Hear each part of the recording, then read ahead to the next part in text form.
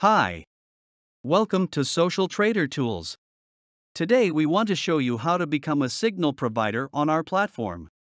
To become a signal provider on Social Trader Tools, you will have to choose one of your accounts as the signal account. This means that people who follow your signals will place the same trades as your signal account. First, you would need to navigate to the Signal Provider section. Go to Navigation, then click on Signal Provider. Then click on Manage.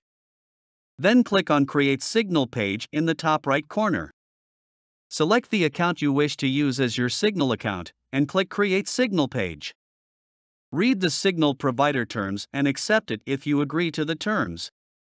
The second thing you need to do is set up the payment processor. This is needed so your followers can pay you. Click on the Configure button under the Payment Processor tab. Here you can choose to be paid to your PayPal account or to your Stripe account. With PayPal, you need to input your email registered with your PayPal account. With Stripe, you will need your public and secret key. When you are done inputting your info, click on the Configure button. Next, you will need to configure the signal settings to set up terms for your signal followers. Click on the Signal Settings button next to the red button. Click on the Add Term button under Follower Terms.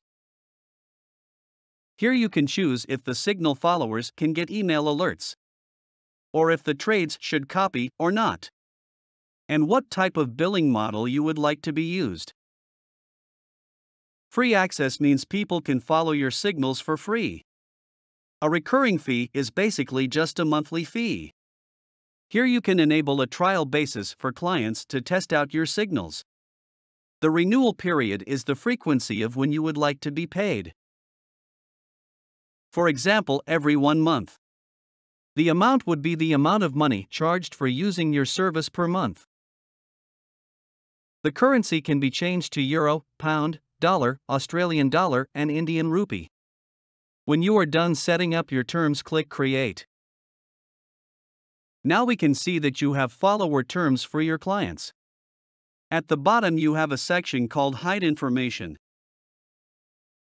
Here you can select some information to stay hidden and some to be displayed.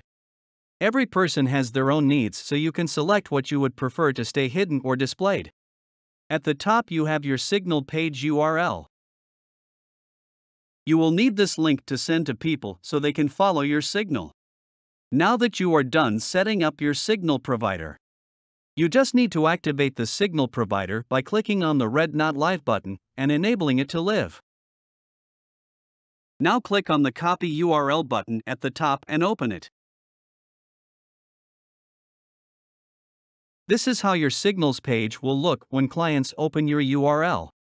If they want to follow your signals, they can click on the Follow Signal button in the top right.